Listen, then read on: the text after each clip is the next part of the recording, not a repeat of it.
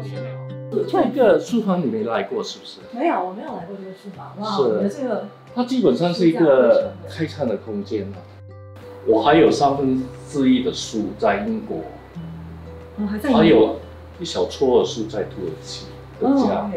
我发觉每一格，它其实是收藏了我自己本身对于书的那种嗜好吧。这个部分就是中国大陆武士白话文起家之后，散文、小说，台湾也在这里。有两位我特别喜欢的，我不知道你认识他吗？但很可惜他呃跟王轩逸嗯，呃都写得很棒，可是两位在几年前不幸就过世，文字很好，虽然他谈的饮食，谈谈的是饮食，可是呃尤其是韩良露，呃、嗯。他谈的也是一种外省人从饮食那边看回他南通的文化。在上面呢是摄影的书，嗯，这些摄影书有些已经绝版了，许多人以为摄影就只是拍一张照片而已嘛，可是不是，他捕抓的那一刻，嗯。那一瞬间，嗯。它其实呃记录了那个城市那个地方的那一刻，嗯，那个历史。是，台湾有一群很好的摄影师，当然很著名的是张兆堂，还有这一本呃，就是他们呃台湾的摄影师谈他们的心理过程。嗯那你拍一张照片，不单只是拍照片而已，它其实用镜头在说话，嗯在反映那个社会。我想这书本跟你的关系一定是非常的密切，那你跟书本的关系又经历一个什么样的一种变化？我从小看书就是看杂书，那时候你知道那个桥北路的书店，像商务印书馆、中华书局是比较左派的，也有友联、港台那边比较右派的。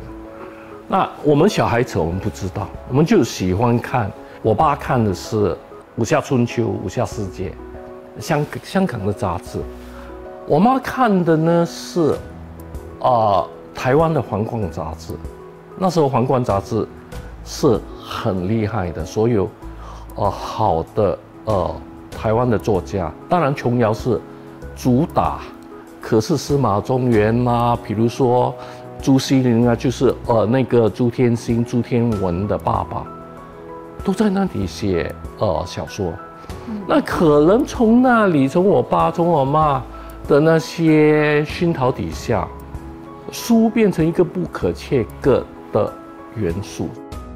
所以你看书的这个习惯有改变吗？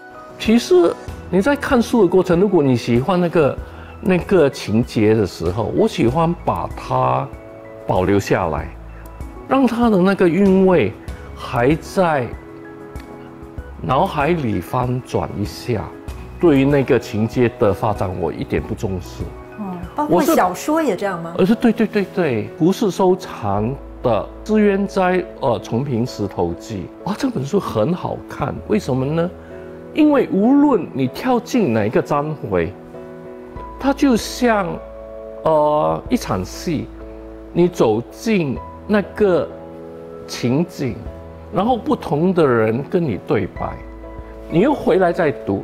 这次你读的是那个红珠笔的那个资源斋，他说你要留意谢宝钗为什么这么跟贾母说话。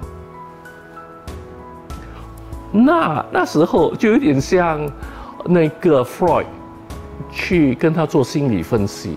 所以你读的其实已经不是那个故事了，而是可能是其中的那种文学呃心理学，或者是其中的一种哲学。因为现代人生活是非常的，呃，匆忙，非常的急促，呃，什么东西都是非常黑白分明，马上要知道一个答案，然后对，而且非常功利。